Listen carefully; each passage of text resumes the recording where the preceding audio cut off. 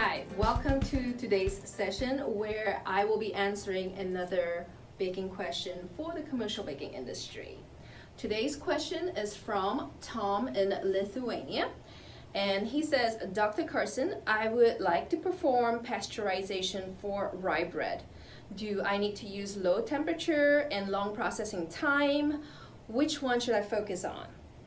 What about packaging? Am I right that bread should always be fully packaged in plastic? Well, first of all, Tom, thanks for reaching out. This is a great question. Uh, as you mentioned, a pasteurization is, is the heat treatment for um, liquids. So um, just remember that pasteurization is uh, a way of treating heat treating liquid products so that it eradicates microbes in the liquid. For baking, um, it's it's for, baking is a kill step for solid products. This is the heat treatment that changes the product from a solid um, material to a, a porous material. And the, in that step, we provide a kill step that kills all microbes in the baking process. So um, let's start by having you type the word in, rye flour.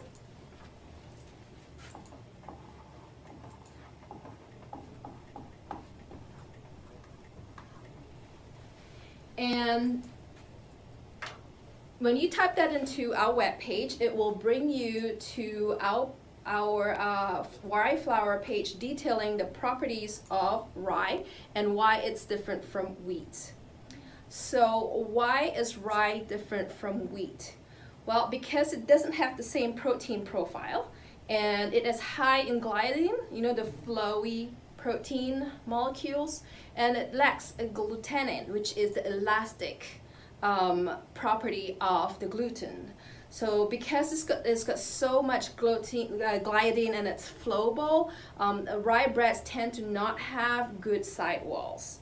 Don't forget, rye flour is, as stated on our webpage, is high in uh. So pentosans are, as, as the name says, pento, five sides.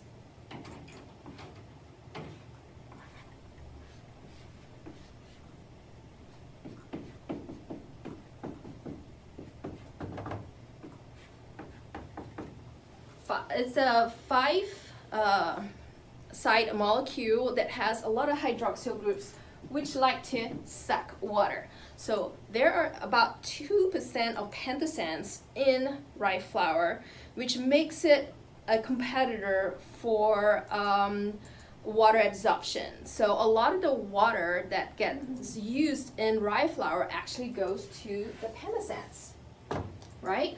So um, because they they absorb so much water, um, are the reasons why you have to bake differently. So why bake rye bread differently? Mainly because of those bothersome molecules, right?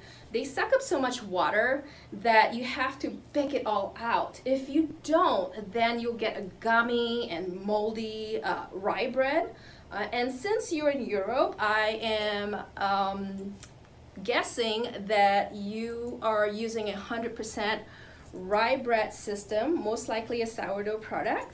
And the baking of this kind of bread is absolutely different from 100% wheat flour bread. Therefore, as a baker, I would recommend to heat up the oven to 450 degrees Fahrenheit That is about 232 degrees Celsius. Put your bread in there and turn it down to 350 degrees Fahrenheit. Which is 175 degrees Celsius.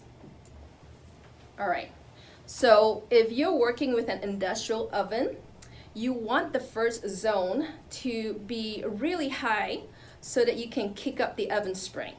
So for, for this, you want to have a high front zone then bring the middle zones down to 350, and then with a slight 50 degrees increment for every zone after that will be 20 degrees Celsius.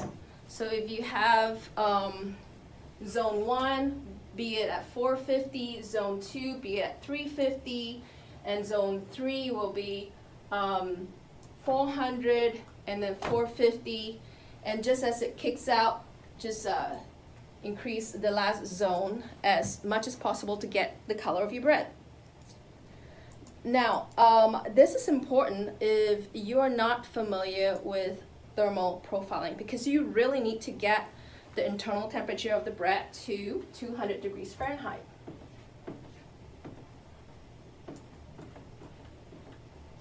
which is 95 degrees Celsius.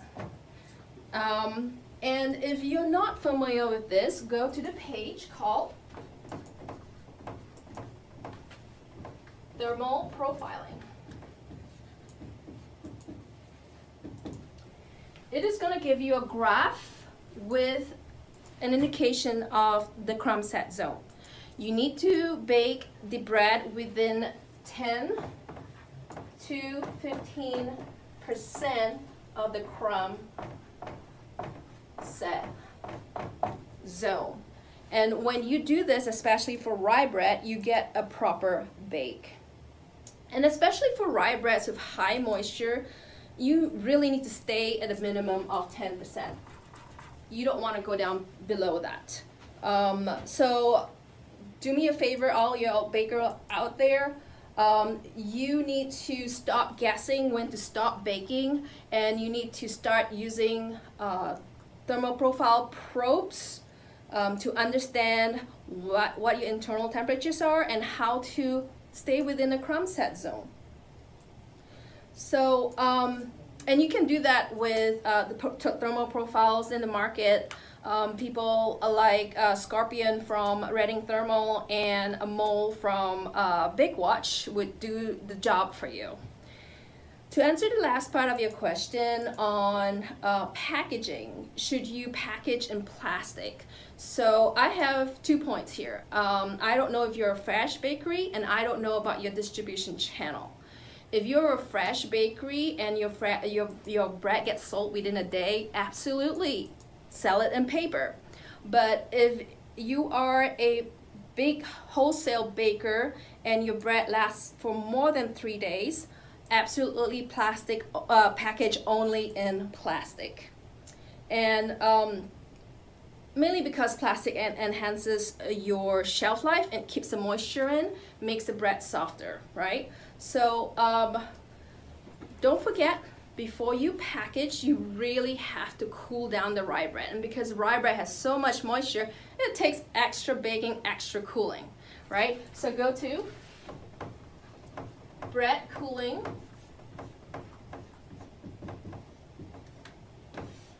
on our website and learn more and uh, learn more about where you need to cool the bread to. So what we recommend usually is 92 110 degrees Fahrenheit, which is 32 to 42 degrees Celsius. We want to target the low end of um, the spectrum to reduce the rye bread um, temperature to such a point where it's easy to slice and it's easy to package without condensation. And you want to uh, pack, give it, uh, uh, give it a, a good um, cooling because you want the bread to last longer. When you have condensation in the package, you will get molding faster. So you want to you want to stop that. Um, all right, so if you have any more questions, um, send it to Ask Dr. Lin at bakerpedia.com. And before we end, I wanted to thank um, our sponsors, Solange Mill, a purveyor of rye flour in North America, and Reading Thermal, the makers of Scorpion, and Big Watch, the makers of Mole. Both are reliable thermal profile tools. With sponsors like them, um, we are able to do what we do at Bakerpedia, And um, again, if you need to ask us questions, reach out to me. Thank you.